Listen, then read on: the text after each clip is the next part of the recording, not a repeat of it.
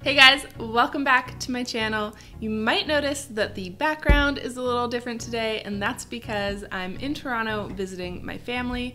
The coolest part about being an online entrepreneur though is that I can create these videos from anywhere.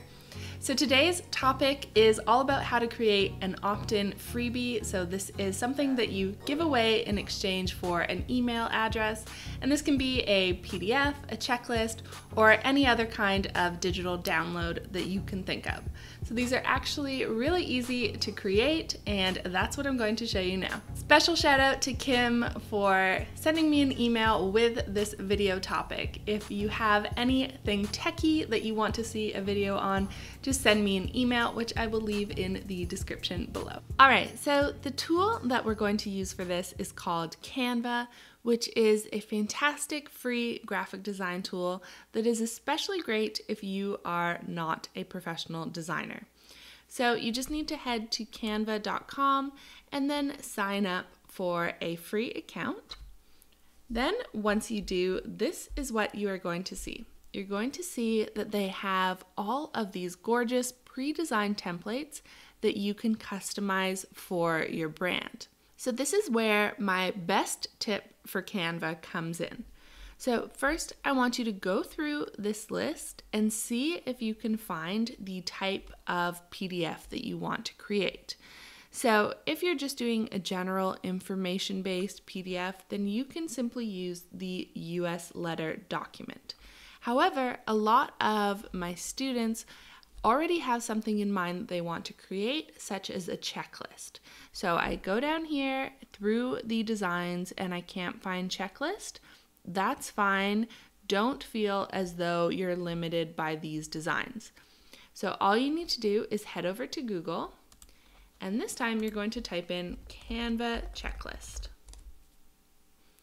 Okay, and what you're looking for is a link that is created actually by Canva. So it needs to say canva.com at the front. And here I can already tell from this link here that it is going to be checklists. So I'm going to click on this and it may be one of their blog posts, but you'll see that it will likely include a green button that tells you to design or it will go straight into the templates. So we're just going to click start designing a checklist. And now it's going to open up a design document. Okay, no, we don't need to see how it's done. All right, it's going to open a blank document. And what it's going to bring in is all of these pre designed checklists for you over here on the left hand side. So let me reiterate that point again. You are not limited by the design types here within Canva. If you just head over into Google and you type in something more specific that you're looking for, it is very likely that you're going to find some templates already. So that's my best tip when it comes to Canva. So back to our checklist. Now that we're in the design area, you can look over on the left and see all of these different checklists that you can use. So now we need to customize this for our brand. So go through the list and find one that you like. All right, so I found one that I like, so I'm just going to click on that. And now I need to customize this to match my brand. So Canva is very much a drag and drop type editor and they've made customizing it very simple. So first I'm going to start with the title. All I need to do is click on this and delete what is there already and then type in my business name. Awesome. And then if I just highlight it, go over here to this color square, I can customize that to one of my brand colors. And then I'm actually going to do the same with this flag type design. Click on the square, change it to one of my brand colors. So, one of the biggest things that I see people struggle with is that they attempt to start their design from scratch. This is really hard, even if you are a designer. So, rather than starting from scratch, I do recommend that you use one of the templates that Canva has already designed for you and instead customize it to match your brand. So that's why we're going to customize this one rather than attempting to build it from scratch. All right, so this background does not work for my brand, but as you can see, I can change the color. Sometimes you will not be able to change the color, so in that case, I instead replace it with a pattern. But we're lucky here that we can customize. Okay, great. So for example, let me click on all of these. Oh, nope. All of these in this template, you can actually change the color. If you can't, then I would just delete it. Let me explain that.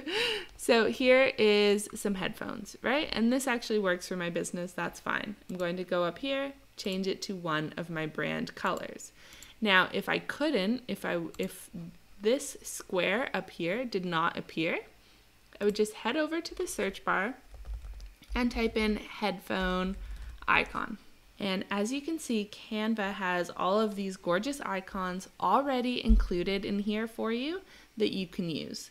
So for example, if I click on this one, it's awesome, but there's no color box up here. So that means I can't change the color. So that's just something that might happen to you and to keep in mind. But these ones I'm allowed to customize. So if I wanted, I can customize the pencil to match my brand and I can customize the glasses. So let me just do that quickly and change the color of my pencil. Okay, so something like that. So now all of a sudden it is much more on brand for what I do. And another thing that you're probably going to want to do is change the font type if you have already established your brand fonts. So I have one of mine is Cooper Hewitt. Okay, and then I would change all of these. Unbold that. Okay, great. So there is the checklist that we have now created. And then, well, let me delete this one down here. So here is the checklist that we have created and now all you need to do in order to get the PDF of this is to click download, change this to standard and download. So now this is going to download to your computer and you just need to make sure that you include this in the email that goes out automatically once someone signs up to receive your download. So this is just the delivery of your PDF. I'm actually going to cover this topic in my video on Thursday, so make sure that you subscribe to my channel so that you get notified when that video is live. So that's one example of creating a checklist. Just remember that you can customize it completely. So if you don't like any of these icons, you can simply delete them if you just click on it and then you click the trash can button right up here. Okay, and if I wanted, I could delete this background if I'm not feeling that. Or you'll see that if you head over to background over here, you can not only change it to a color, but there are all these patterns that you can choose from. For example, I could use that and then click on it and change it to one of my brand colors. But in general, you should be fine if you just follow the template as best you can. So rather than me coming in, you know, and trying to move it all around, which you absolutely can do.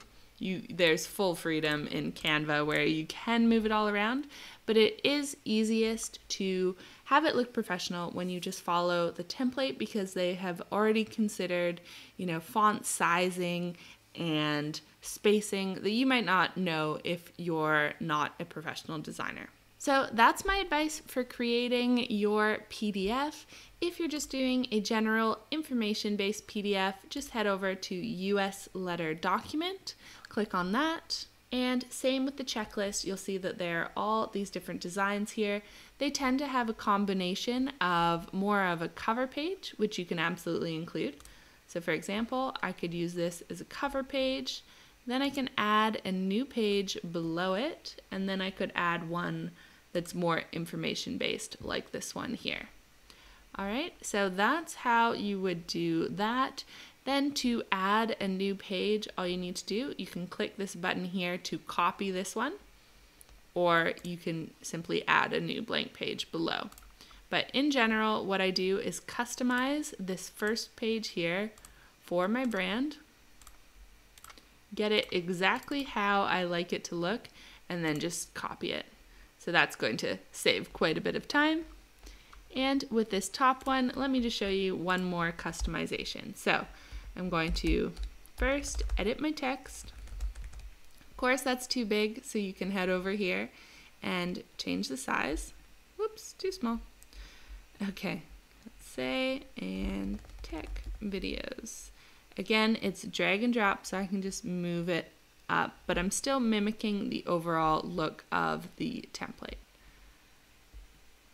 Okay, and then I would customize these to my colors.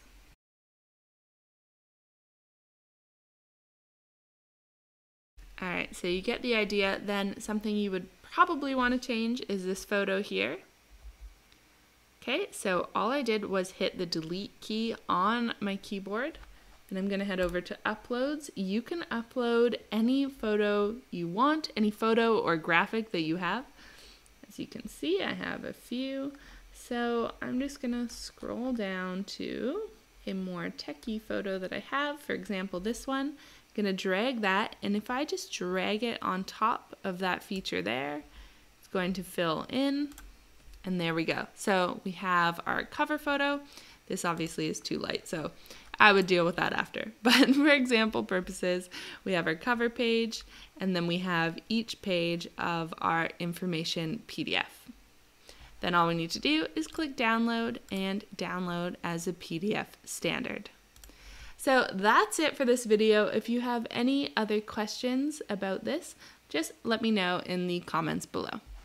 So that's how you create an opt-in freebie. If you would like to take it to the next level and make it fillable, make sure to click the link on the screen right now or in the description below. I have another video which will show you how to do that. Alright, that's it for this video. If you liked it, make sure to let me know by giving it a thumbs up, leaving me a comment, and hitting subscribe and I'll see you guys soon with another video.